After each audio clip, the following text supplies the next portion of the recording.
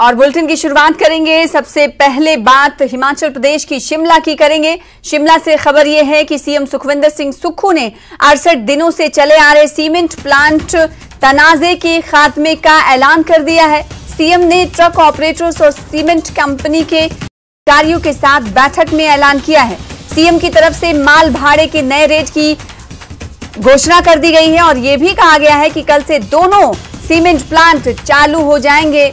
आपको बता दें कि ट्रक ऑपरेटर्स से माल भाड़े के तनाजे को लेकर कंपनी ने 15 दिसंबर को दो सीमेंट प्लांट बंद कर दिए थे, जिसमें से एक है बिलासपुर के बरमाड़ा में, जहाँ पर एसीसी सीमेंट फैक्ट्री है, और दूसरी है सोलना के दालरा घाट में अंबुजा सीमेंट प्लांट। दोनों प्लांट बंद होने के बाद से तकरीबन पैंतीस हज़ार लोगों की रोजी रोटी खतरे में पड़ गई थी। तनाजा सुलझने के लिए सरकार तरफ़ से लगातार कोशिशें की जा रही थी और अड़सठ दिनों के बाद सीएम ने आज तनाजे के खात्मे का ऐलान किया। ट्रक ऑपरेटर्स पहले सिंगल एक्सेल ट्रक के लिए ग्यारह रुपए इकतालीस पैसे प्रति क्विंटल पर किलोमीटर का किराया लेते थे और मल्टी एक्सेल ट्रक से ढुलाई का किराया दस रुपए अट्ठावन पैसे पर क्विंटल पर किलोमीटर था।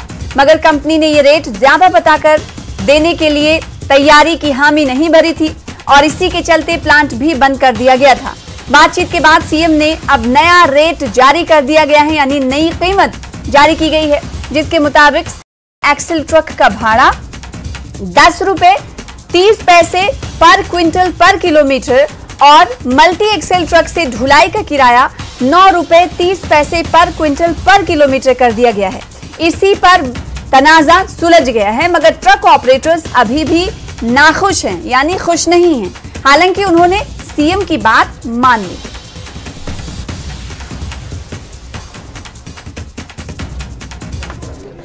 जो सिंगल मल्टी एक्सल है सिंगल सिंगल एक्सल। है उसका रेट दस रुपए तीस पैसे प्रति मीट्रिक टन किलोमीटर। पर किलोमीटर तय हुआ है।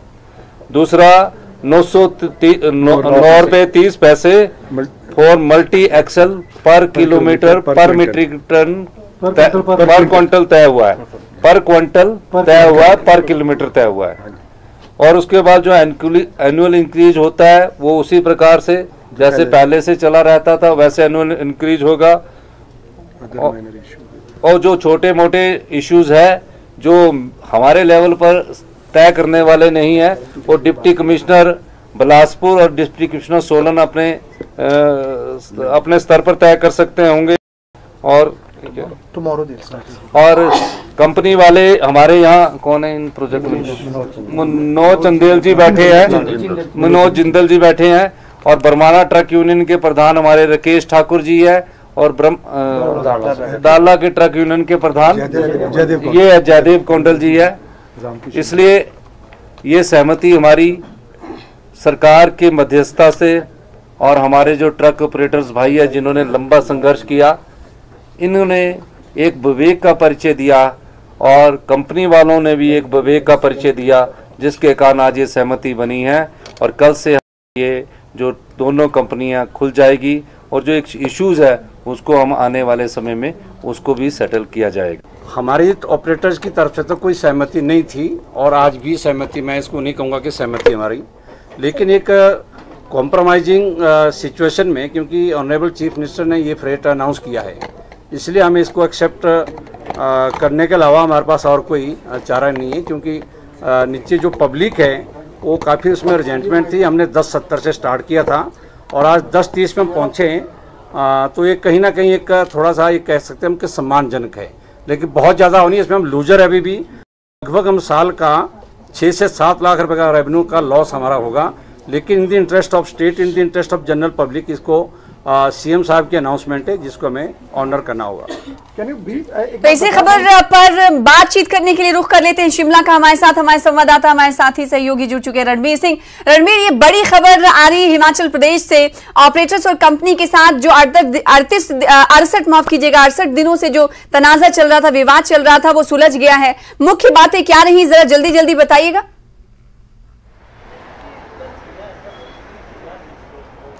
सना देखिए सबसे बड़ी राहत की बात यहाँ पर ये है कि ये दोनों जो सीमेंट प्लांट जब यहाँ पर उत्पादन बंद हुआ था तो करीब 30 से पैंतीस हज़ार लोग जो है प्रत्यक्ष और अप्रत्यक्ष रूप से जिनकी रोजी रोटी पर असर पड़ रहा था रोज़गार पर असर पड़ रहा था उसको आ, उनको जो है राहत भरी खबर ये है। राज्य सरकार को भी यहाँ पर जो है करोड़ों का नुकसान हो चुका है।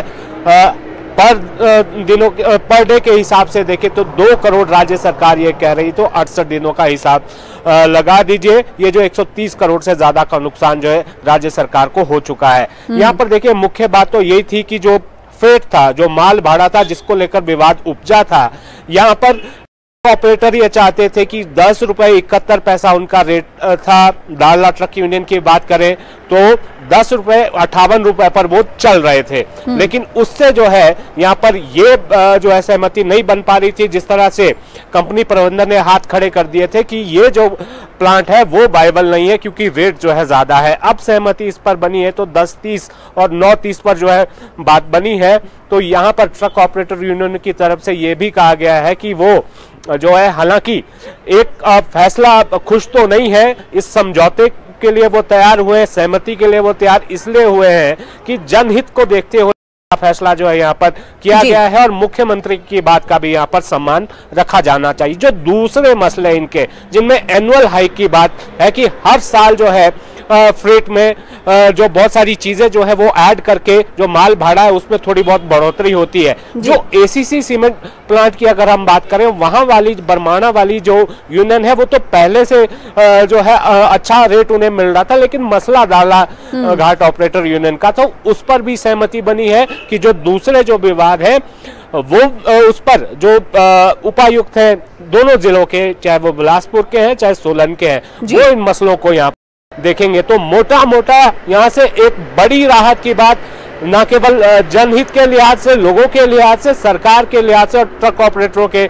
लिहाज से एक बड़ी राहत की खबर जो है आज निकल कर रही है। अड़सठ दिनों का ये डेडलॉक जो। है एक यहाँ पर हुआ जाते जाते एक और सवाल ये करना चाहेंगे। अड़सठ दिन हो गए ज़ाहिर सी बात है मीटिंग पर मीटिंग होती रही नई तारीख पर तारीख देती दी गई सरकार की तरफ़ से कभी दोनों सीमेंट कंपनियों की तरफ़ से बैठने को लेकर हमने देखा कि बहुत बहसें चली। लेकिन जाते जाते ये बताइएगा कि विवाद कितने पैसे पर अटका हुआ था? कंपनी की मांग क्या थी? ट्रक ऑपरेटर्स किन मांगों को लेकर अड़े हुए थे? कि जाते जब ये विवाद सुलझ गया है तो किस मुद्दे पर विवाद था? वो एक बार फिर से दोहरा लिया जाए। देखिए जो विवाद था वो 14 दिसंबर 2022 को अचानक जब एसीसी सीमेंट प्लांट प्रबंधन ने जो है अपना प्रोडक्शन बंद कर दिया अपने प्लांट को बंद कर दिया वहाँ पर नोटिस जो है चस्पा दिया।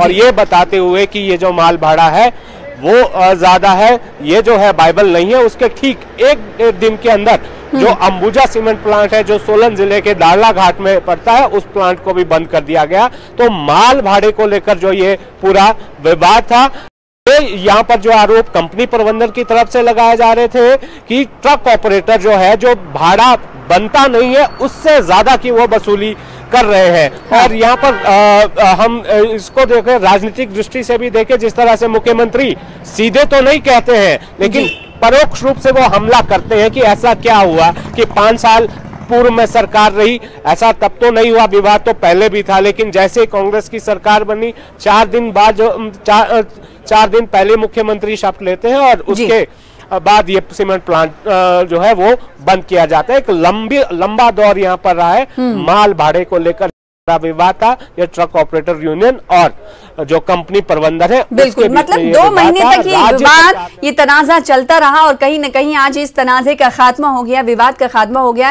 कल से कंपनी चालू हो जाएगी। दस बड़ी बातें हैं जो हम अपने दर्शकों को बताना चाहेंगे कि क्या हुआ था और कब से ये काम शुरू हो रहा है और किस मुद्दे पर अब ये सहमति बन गई है। हालाँकि ट्रक मालिकान का ये कहना है सीधी तौर पर उन्होंने अब से कुछ देर पहले कहा था कि हम खुश तो नहीं है सहमति तो नहीं जता रहे हैं लेकिन फिर भी कॉम्प्रोमाइज कर रहे हैं तो ये पांचवी बड़ी बात है। एक से लेकर पाँच तक हम आपको बड़ी बातें बताएँगे लेकिन इस वक्त जो आ, बात है वो हम आपको टीवी स्क्रीन पर दिखा रहे छठी बात की बात कर लेते हैं। सोलन घाट में अंबुजा प्लांट अब चालू हो जाएगा। सातवीं बड़ी बात यह है कि 5 दिसंबर से ये दोनों सीमेंट प्लांट बंद थे जैसा कि हमारे संवाददाता रणवीर बता रहे थे। आठवीं बड़ी बात यह है कि माल भाड़े पर कंपनी ट्रक ऑपरेटर्स में विवाद था यह हम सब जानते हैं। इस बात को एक बार फिर से दोहरा लिया जाए। सीएम ने नए माल भाड़े का एक प्लान किया था प्लान तैयार किया गया है, फिर उसके बाद अब इस पर सहमति बनी है। दस दशमलव तीन शून्य रुपए और नौ दशमलव तीन शून्य रुपए के नए रेट पर अब ये सहमति बनी है। तो अड़सठ दिन बाद ये विवाद, ये तनाजा खत्म हुआ है। माल भाड़े को लेकर ये तनाजा ट्रक ऑपरेटर्स की तरफ़ से शुरू हुआ था। सीएम सुखविंदर सिंह सुख ऐलान कर दिया है कि कल से ये दोनों सीमेंट कंपनियाँ काम के लिए चालू हो जाएँगी। कंपनी और ट्रक ऑपरेटर्स के बीच कई दौर की बैठक हुई। कल से दोनों प्लांट अब चालू हो जाएँगे, इनमें काम चालू हो जाएगा। जैसा कि अब से कुछ देर पहले हमारे संवाददाता रणबीर ये बता रहे थे कि प्रत्यक्ष रूप से, अप्रत्यक्ष प्रत्यक्ष रूप से तकरीबन तीस हज़ार से ज़्यादा जो रोज़गार इससे जुड़े हुए थे, इस सीमेंट प्लान से, उन्हें कहीं ना कहीं दुश्वारियों का सामना, परेशानी का सामना उठाना पड़ रहा था। तो हिमाचल से बड़ी खबर यह है कि दो महीने से ज़्यादा अरसे से चला हुआ विवाद अब खत्म हो चुका है। माल ये विवाद शुरू हुआ था। 14 दिसंबर को नोटिस चस्पा कर दिया गया था। फिर 15 दिसंबर से इन दोनों सीमेंट कंपनियों ने काम करना बंद कर दिया था। इस बीच हमने देखा कि कई दौर की मुलाकातें हुई, मीटिंग हुई टेबल पर भी बैठे तमाम स्टेक होल्डर्स लेकिन अब जाकर सहमति बन पाई है। सीएम सुखविंदर सिंह सुखू यानी सरकार ने एक अहम रोल अदा किया है। इससे पहले हम सुनते आए और देखते आए कि सीएम सुखविंदर सिंह सुखू ने कहा कि ट्रक ऑपरेटर्स तो हमारे अपने हैं, कंपनियाँ भले ही बाहर से आकर यहाँ पर कंपनी खड़ा करती हैं, लेकिन अपनों के साथ तो हम साथ रहेंगे। इस तरह की बातें उनकी तरफ़ से कही जाती रही हैं। तो कहा यह जाए कि हिमाचल प्लांट से जुड़े हुए लोगों के लिए राहत की खबर यह है कि कल से अब वो इस सीमेंट कंपनी में काम कर सकेंगे और जो दुश्वारियाँ उन्हें हो रही थी, अब वो दुश्वारियाँ खत्म हो गई हैं। नए रेट का भी ऐलान कर दिया गया है। 15 दिसंबर से ये दोनों सीमेंट प्लांट बंद थे।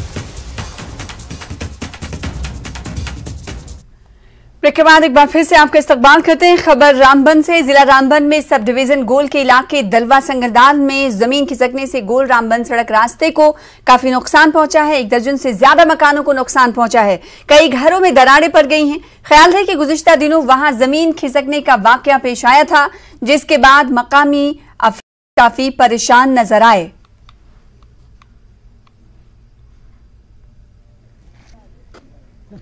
डिस्ट्रिक्ट एडमिनिस्ट्रेशन है वो इमीडिएटली जो है एक्टिव हो गई एंड स्पॉट विजिट्स किए हमने।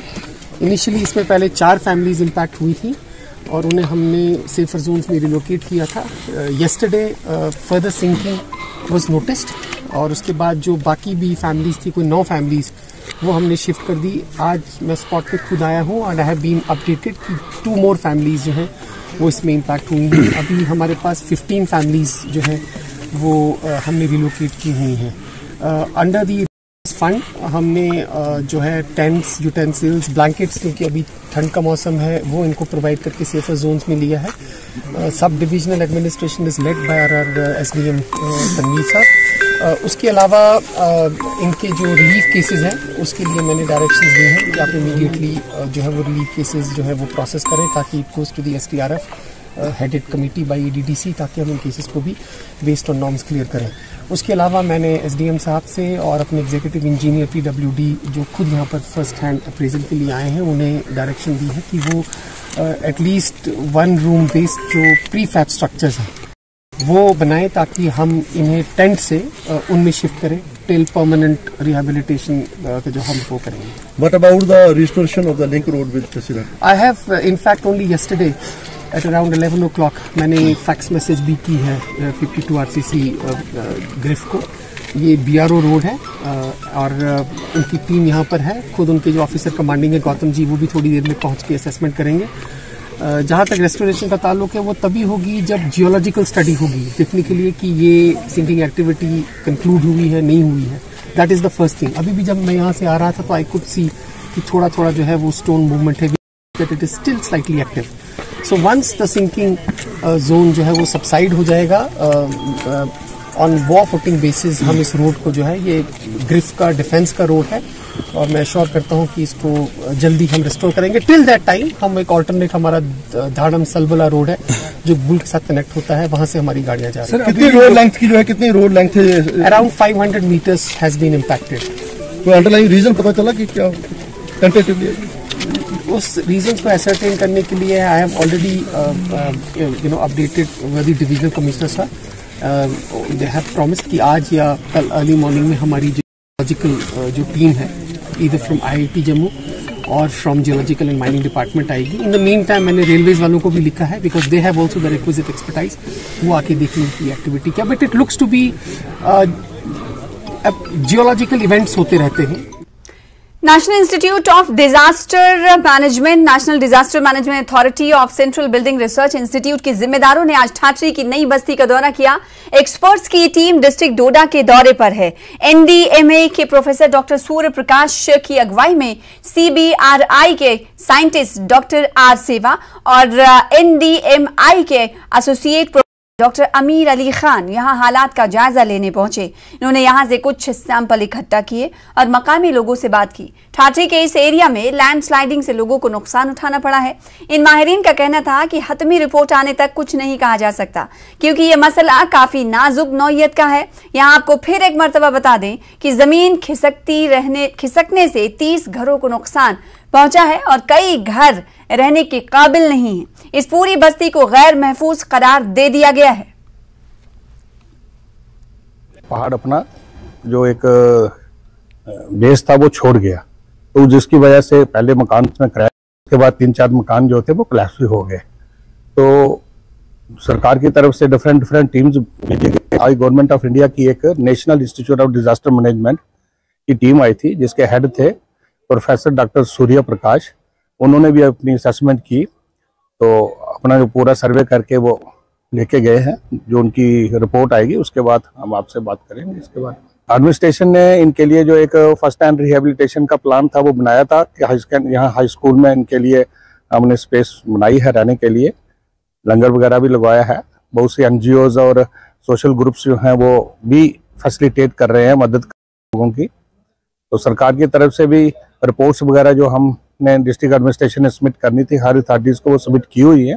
आगे जो डायरेक्शन होगी अकॉर्डिंगली हम एक्शन करें जहाँ पे ये प्रॉब्लम आ गई है, वो एरिया या उसके सराउंडिंग के थोड़ा और एरिया भी नहीं लगते फिट रहने वाले। तो उसके मुताबिक जो रिपोर्ट इनकी आ जाएगी, उसका उधर जिला गांधरबल के गगनगीर के रेजान इलाके में बड़े पैमाने पर लैंडस्लाइडिंग की जद में आने के बाद निस्फ दर्जन से ज़्यादा रिहायशी मकानात और दुकानों के अलावा चंद गाय के शेडों को नुकसान पहुँचा है। कल शाम श्रीनगर ले हाईवे के साथ वाकई इलाके में शदीद बारिश की वजह से लैंडस्लाइड हुई, जिससे वहाँ रहने वाले लोगों में हरास फैल गया। ताहम इस वाकई में इलाके से किसी जानी नुकसान की इतलात नहीं है। लैंडस्लाइडिंग की इतला मिलते ही सिविल इंतजामिया, पुलिस और फौज के हमरा जाय वकू पर पहुँच गई और रात भर इमदादी कार्रवाइयाँ जारी रहीं। रेस्क्यू और रिलीफ ऑपरेशंस के दौरान मुतासर अफराद को महफूज मकाम पर मुंतकिल किया गया।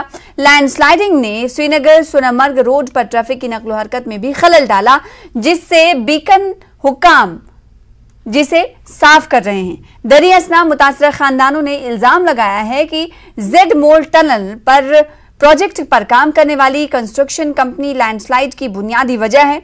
इनका कहना था कि के ब्लास्टिंग और टनल की तामीर में दिगर भारी मशीनरी के इस्तेमाल की वजह से पहाड़ नाजुक हो गए हैं। ताहम एसडीएम कंगन ने मुतासर खानदानों की बाजाबादकारी और मुआवजे की यकीन दहानी कराई है। ये पहाड़ गिर रहा था थोड़ा थोड़ा तो बाकी घर वाले तो सब अंदर थे, मैं रोड पे देख रहा था उस वक्त। लगा हमें उस वक्त थोड़ा उतरेगा। लेकिन जैसे ही कुछ पाँच मिनट हो गए तो पाँच मिनट में पूरा ये नीचे उतर गया। लेकिन तब तक तो हमारे यहाँ इर्द गिर्द जो हमसाए सब थे, वो आ गए तो हमारी फैमिली को रेस्क्यू किया। ये सबसे बड़ा कारण है इस लैंडस्लाइड का, ये पीछे मेगा की कंपनी का काम चल रहा है एप्को का। तो उसे हमने सौ बार बोला कि भाई यहाँ पे ब्लास्टिंग मत कीजिए। इसकी वजह से हम लोगों को खतरा है। वो लोग हमें रोज़ ये कहते हैं कि नहीं आप कोई खतरा नहीं हमने बाहर से टीमें लाई है उन्होंने जाँच कर ली है कुछ कोई भी कुछ नहीं हो सकता है। उन्होंने यहाँ पे एक खड्डे में 1200 बैग सीमेंट के भर के हम लोगों को दिलासा दे दिया कि भाई अब ये नहीं खिसकने वाले। लेकिन इस टाइम आप देख सकते हो यहाँ पे छः से सात मकान इस स्लाइड के नीचे दबे हुए हैं। लोगों का कुछ भी नहीं बचा है यहाँ पे। एडमिनिस्ट्रेशन से हमारी ये अपील है ये पीछे कंपनी आपको जो काम कर रही है इसको यहाँ पे रोक दिया जाए। या तो ये जमीनें हमारी खरीद ले, हमें यहाँ से निकाल दे, दूसरी जगह शिफ्ट कर दे। जब फॉर्चुनेटली कल रात जो लैंडस्लाइड ट्रिगर हुआ एट द रेजन प्लेस जिसमें अभी तक दस मकान, दस दुकानें और चार काउश डैमेज हुए पर शुक्र है कि कोई जो सिविलियन नहीं हुई है। जैसे ही इंसिडेंट हुआ, उसी वक्त से रेस्क्यू ऑपरेशन स्टार्ट किया गया और से फिर से स्टार्ट किया गया और जो अफेक्टेड फैमिलीज़ है, उनको पूरी तरह असिस्ट किया जा रहा है और ठाठे के करीब गुजिश्ता पंप, गश्ती पंप पर भारी मिट्टी के तोदे गिरने से ठाठरी डोरा सड़क ब्लॉक हो गई है। बटूट, किश्तवाड़, एनएच 224 पर दोनों तरफ़ की ट्रैफ़िक बंद हो गई है और हज़ारों मुसाफिर फंसे हुए हैं। इंतजामिया का कहना है कि सड़क को जल्द खोल दिया जाएगा। लोग और मिशनरी सड़क को बहाल करने में मसरूफ हैं। वहीं जिला गांधरबल के रेजान इलाके में आसाम राइफल्स के जवान रिलीफ ऑपरेशन अंजाम दे रहे हैं। एड मिनिस्ट्री पीड़ित परिवार को महफूज जगहों पर मुंतकिल कर रहा है। कल इस इलाके में लैंडस्लाइडिंग हुई थी, जिसमें चंद मकान और गांवखानों को नुकसान पहुँचा था। इस वाकये में किसी तरह की जाए नुकसान की इतलात नहीं है। हम आपको ये बताते चले कि यहाँ लैंडस्लाइडिंग के बाद श्रीनगर सोनमर्ग रोड ब्लॉक हो गई है और क्लियरेंस का काम लगातार जारी है।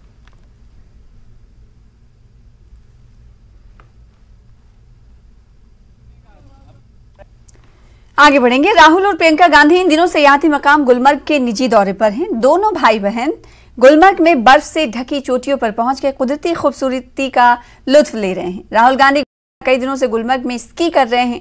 वहीं प्रियंका गांधी भी गुलमर्ग पहुंचकर अपने भाई के साथ सैर तफरी कर रही हैं।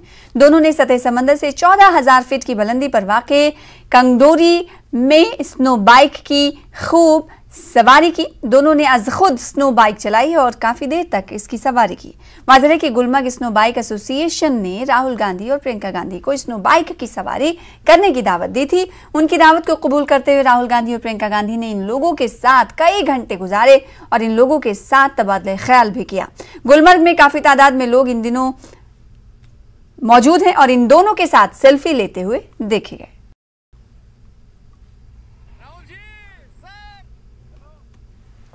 हिंदुस्तानी फौज की मेडिकल टीम तुर्की में ऑपरेशन दोस्त मुकम्मल करने के बाद वतन वापस पहुँच गई है। टीम ने ऑपरेशन को कामयाब करार दिया है। ख्याल है कि मेडिकल और रेस्क्यू टीम को तुर्किया भेजा गया था। तुर्की के कुंदरून और हाथे में हिंदुस्तानी फौज ने फ़ील्ड अस्पताल के ज़रिए मेडिकल, सर्जिकल और इमरजेंसी वार्ड चलाकर काम किया। इसके साथ ही एक्सरे लैब और मेडिकल स्टोर भी कायम किया गया था।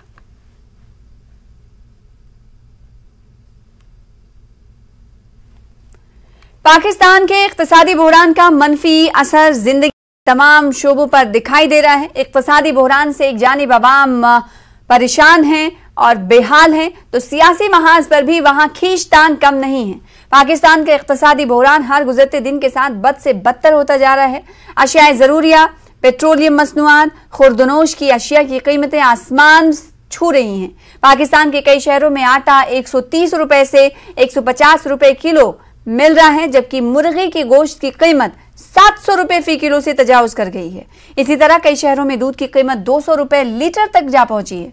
ये सब ऐसे वक्त में हो रहा है, जब पाकिस्तान के रुपए की कदर डॉलर के मुकाबले में इंतहा हो चुकी है और एक डॉलर के मुकाबले में रुपया दो सौ साठ रुपए से तजावज कर चुका है। आईएमएफ चीफ का कहना है कि आईएमएफ पाकिस्तान से दो इकदाम के लिए कह रहा है, जिसमें पहला, अमीर तबके से टैक्सों की वसूली है, जबकि दूसरा, सब्सिडी सिर्फ़ गरीबों को देना है।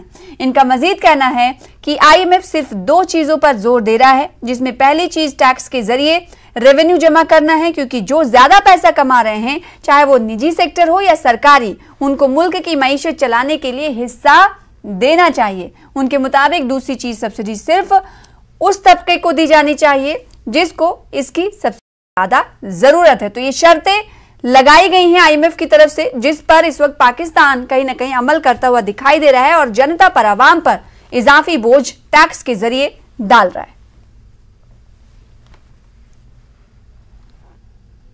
फ़िलहाल इसी के साथ इस बुलेटिन में इतना ही।